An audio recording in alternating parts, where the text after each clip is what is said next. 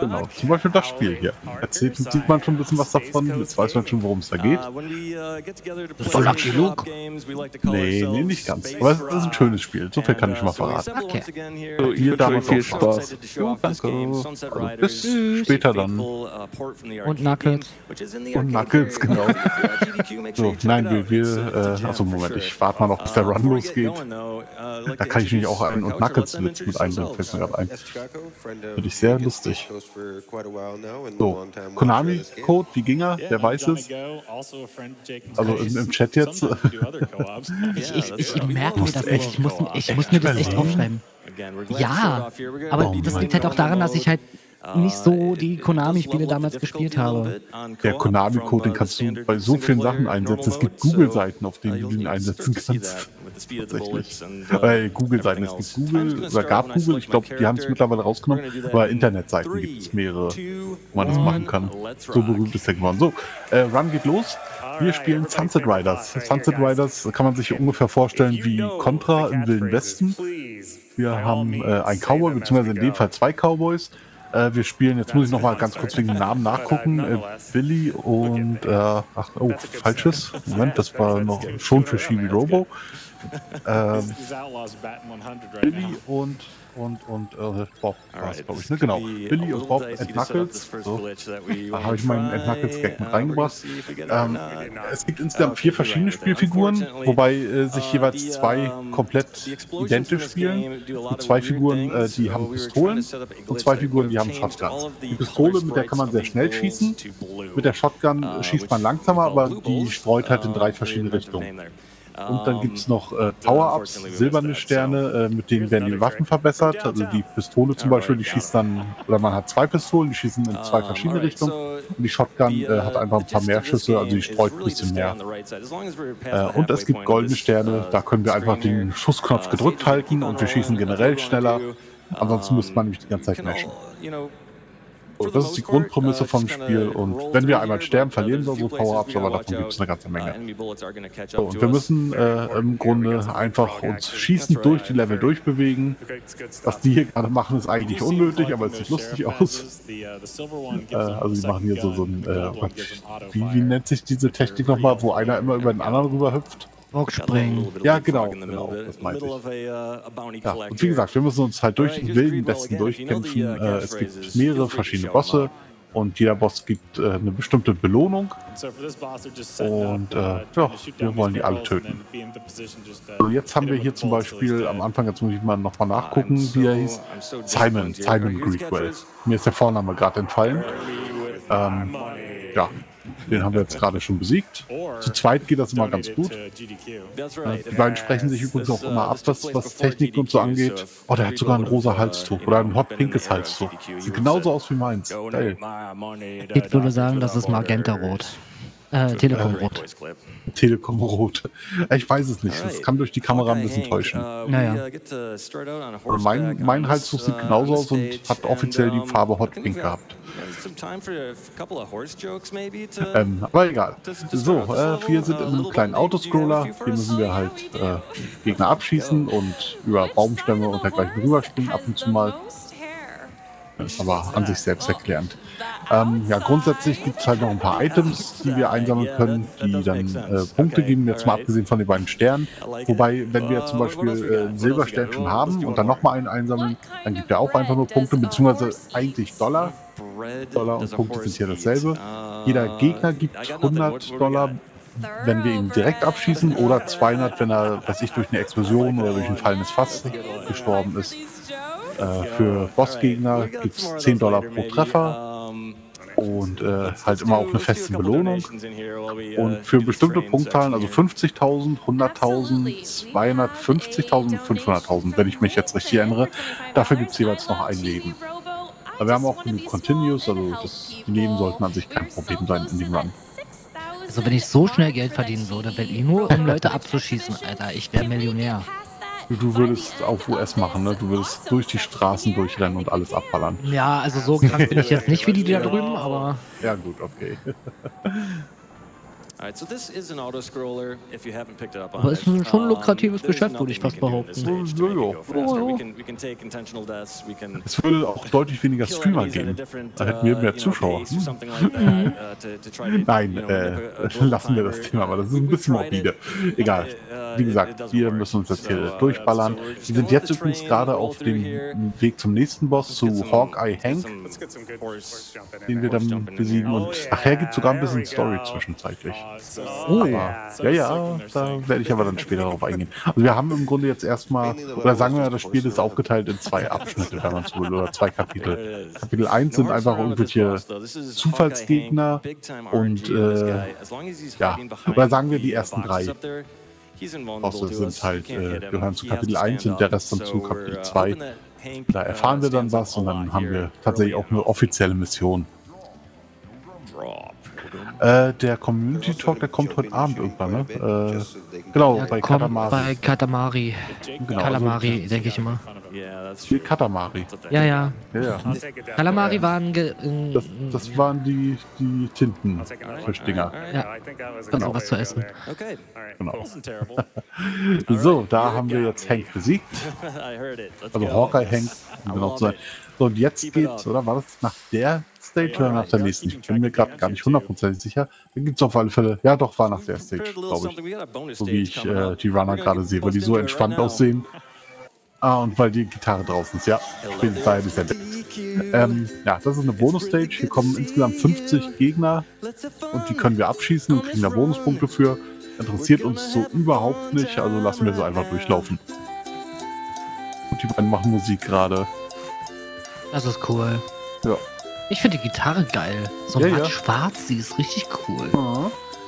Die haben die beiden auch schon bei ihrem Weltrekord-Run gehabt. Also man hat halt in dem Weltrekord-Run nur, ähm, äh, oh Gott, ich glaube, Space Coast ist das auf der rechten Seite. Das ist Jack Rock. Ich bin mir gerade nicht ganz sicher. Weil da hat man halt nur ihn gesehen und dementsprechend auch nur die, die Gitarre. Die Flöte hat man im Hintergrund aber auch gehört. Ja. Dave, Klugscheißer kann leiden. du bist eine Ukulele. So. Weiß zwar nicht, inwiefern das Sinn gemacht hat, aber egal. Dann nach einer guten Beleidigung. Uh, uh, so, ähm, weiter geht's. Zwar jetzt äh, ist unser nächstes Ziel Dark Horse. Der gibt 30.000 Dollar und also 30.000 Punkte. Und ganz wichtig, der Text hat Dead or Alive. Ja, für uns gibt es da keine Wahl, wir wollen die alle töten. Obwohl, nee, stimmt gar nicht. Einen Gegner lassen wir storytechnisch zumindest am Leben. Uh, oh, Auch wenn das ein bisschen lustig ist, aber da gehe ich dann später drauf ein. So, ja, hier haben wir ein paar mehr Sprungpassagen als üblich. Das ist ein bisschen nervig. Da haben wir gerade auch mal so einen äh, goldenen Stern gesehen. Wie gesagt, die goldenen Sterne, die sorgen dafür, dass unsere Kugeln schneller fliegen, dass sie auch größer sind. Ich glaube, das hatte ich vorhin gar nicht erwähnt. Und äh, dass wir äh, den Schussknopf nicht mehr meshen müssen, sondern dass wir äh, dass wir einfach gedrückt halten können.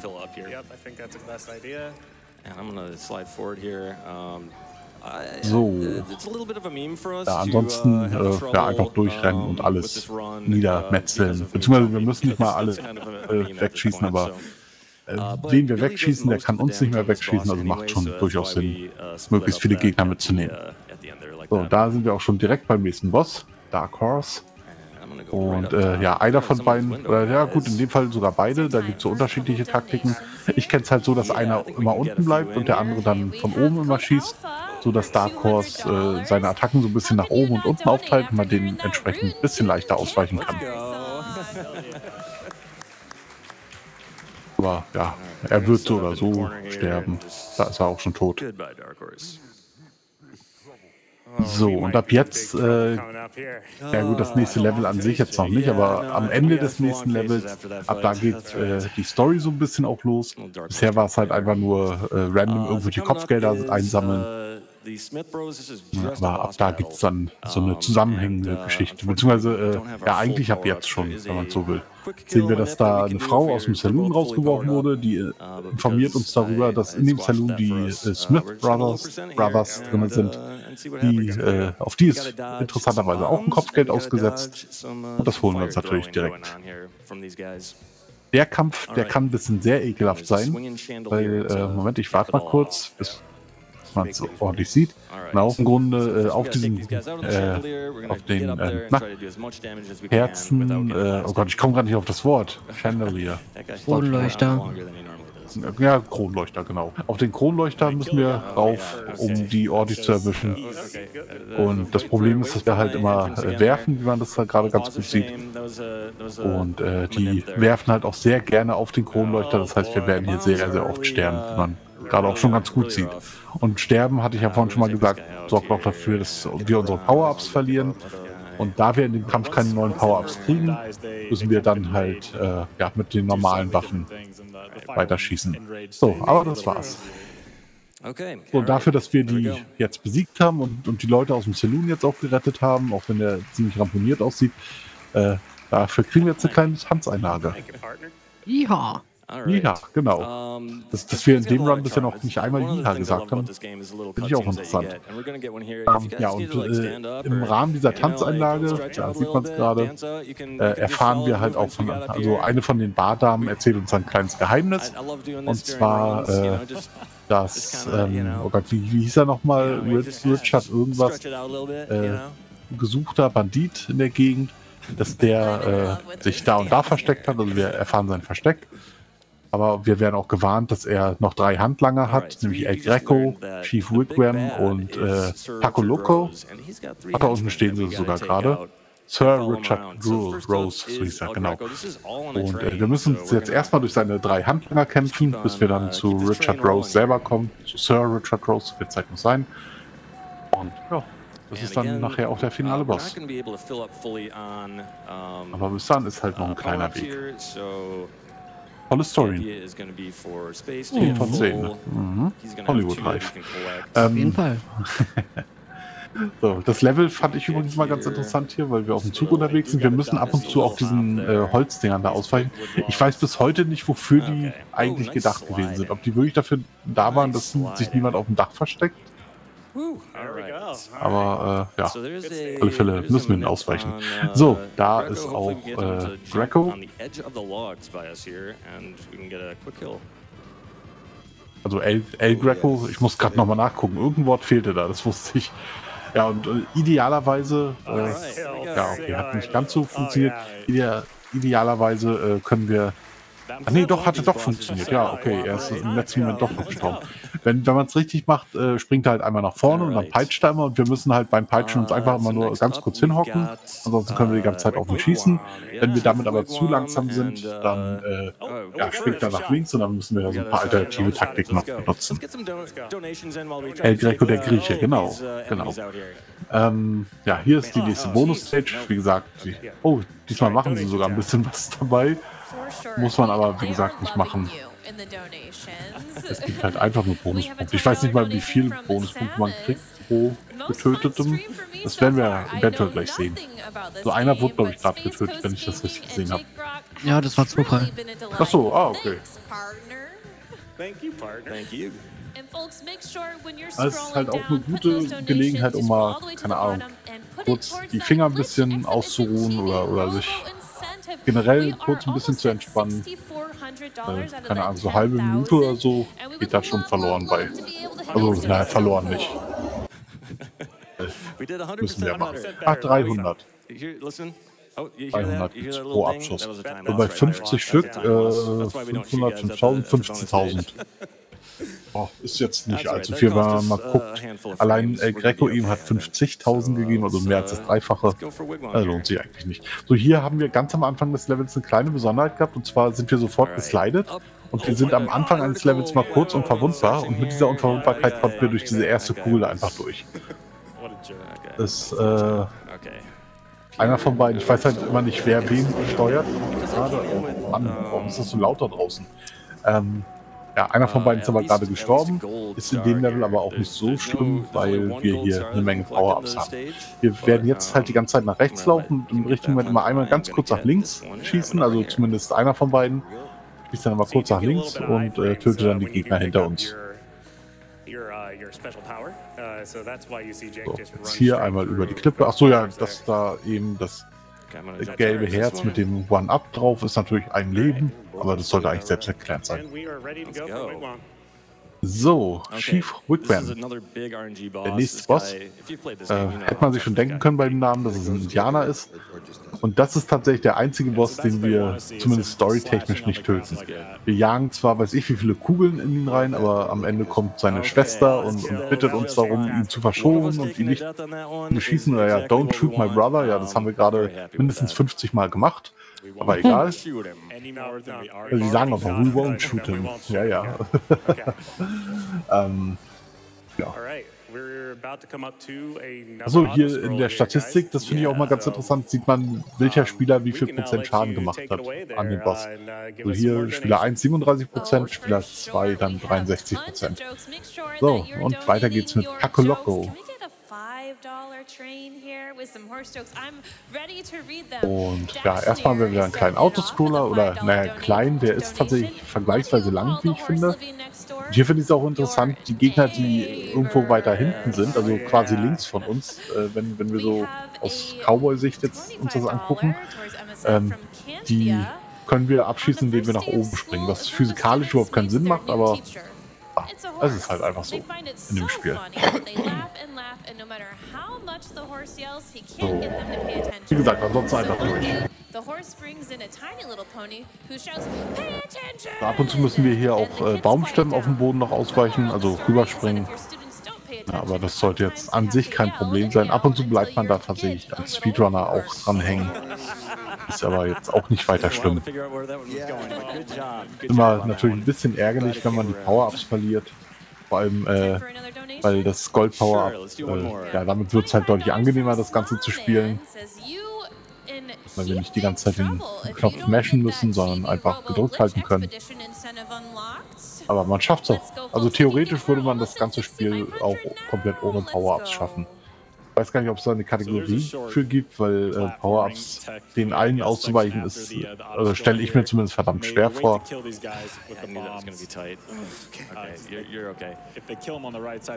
Da haben wir wieder einen goldenen Stern, also für äh, bessere Schüsse, also größere, schnellere Schüsse und einfach gedrückt halten, statt zu mashen. Und da sind wir auch schon beim Boss. Hey, Paco Loco. Ja, an sich, also hier gibt es tatsächlich einen Sweet Spot irgendwo, äh, der ist aber relativ schwer zu finden. Und an diesem Sweet Spot äh, kann er uns mit keiner seiner äh, Schüsse treffen. Weil der ist sehr, sehr pixelgenau. So, und hier gibt es auch noch mal eine kleine Besonderheit. Wir haben den Kampf jetzt eigentlich schon gewonnen, aber äh, er schießt noch mal auf uns mit seinen letzten, äh, ja, mit seiner letzten Lebensenergie. Und den Schüssen müssen wir tatsächlich auch noch ausweichen. Und damit haben wir jetzt aber alle drei Handlanger von, von äh, Richard Rose besiegt. Sir Richard Rose, Entschuldigung. Äh, ja, sprengen ihm erstmal den Kopf weg. Also eigentlich wollen wir nur durch die Barrikade durch, aber irgendwie lag er sehr dicht an dem Dynamit dran. Mhm. Dürfte nicht allzu gut für ihn ausgegangen sein, aber egal. Es sieht irgendwie aus, als würden sie die Pferde gar nicht reiten, sondern der Hintergrund sich bewegen. Ja, ist vielleicht inspiriert von den Filmen damals, wer weiß. Da wird es ja teilweise auch so gemacht. Ähm, also, was heißt hier teilweise? Meistens eigentlich. Just gonna walk through here. So, und wir sind jetzt im äh, finalen Level. Das ist ein bisschen länger, weil es quasi in mehrere Abschnitte auch unterteilt ist. Aber ja, an sich äh, gibt es hier auch nicht mehr wirklich was zu erklären, was, was wir jetzt nicht schon vorher irgendwie erklärt hatten. So, da haben wir jetzt Abschnitt 2. Am Anfang gab es auch gleich wieder einen äh, goldenen Stern. So, irgendwo hier ist, achso, ein One-Up, stimmt, das hatte ich gar nicht mehr im, im Kopf gehabt. Ähm, aber irgendwo ist hier jetzt, ich glaube hier an der Stelle irgendwo noch ein silberner Stern. Das ist dann halt auch immer wichtig, wer gerade äh, ein Stück weiter vorne rennt von den beiden Spielern. Oder war der? Okay, dann war der irgendwo schon. Die haben den in dem Moment eingesammelt, ohne dass man ihn wirklich gesehen hat. So, und da oben haben wir schon äh, Sir Richard Rose, den Boss. Wir müssen aber erstmal ein bisschen äh, seine Handlanger erledigen und gleichzeitig den Balkon von ihm kaputt machen. Äh, der blaue, äh, also Billy, steht da oben ganz gut. Da konnte er eigentlich nur von den Soldaten, äh, von Soldaten, von den Cowboys, die von links kamen, angegriffen werden. So, und jetzt kommen wir schon in die Endphase des Spiels. Also im Grunde äh, heißt es jetzt einfach alles auf äh, Sir Richard Rose ballern, was wir haben. Und wenn er tot ist, dann, dann war es auch. Uh, Aber jetzt bewegt er sich halt ziemlich viel. Und man sieht auch schon, äh, er ist auch tatsächlich recht flink unterwegs. Und äh, jetzt muss ich überlegen, nee, das war es noch nicht. Ich, hatte, ich wusste jetzt nicht mehr genau, ob, man, äh, ob das noch die Phase ist, in der er nochmal aufsteht oder ob das schon die Endphase war.